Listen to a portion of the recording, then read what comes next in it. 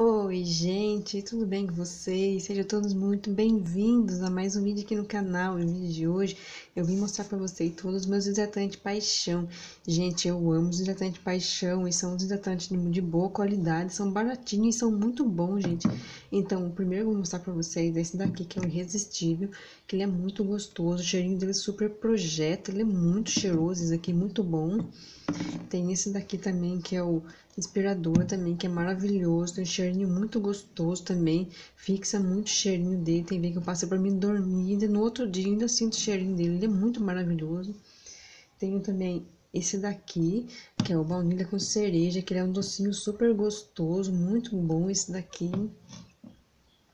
Tenho esse daqui também, que é o Flor do Lótus com Blueberry, que eu conheci ele aqui agora há pouco tempo e tô gostando muito dele, ele é super cheiroso.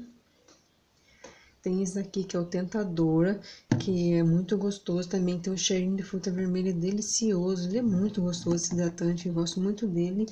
Tem esse daqui também, que é o Framboesa Negra também, que ele é um docinho super gostoso, bem confortável, muito bom. Tenho esse daqui, que é o Sedutora também, que ele é muito gostoso, ele é bem fresquinho, muito bom. Tenho esse daqui, que é o Romântica, também, que esse daqui eu já acho ele mais levinho que os outros, ele é bem gostosinho também. Tem o Radiante também, que ele é muito gostoso, é uma fragrância bem delicada, esse aqui eu acho ele muito gostoso. Tem esse daqui também, o avelã, também que é um docinho maravilhoso, que é muito bom. E por último, esse daqui que é o framboesa, não framboesa não, é o flor de baunilha, que é muito gostoso também, maravilhoso, eu gosto muito dele.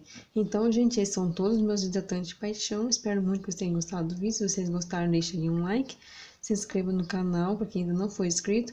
Muito obrigada, gente, fique com Deus e até o próximo vídeo, tchau!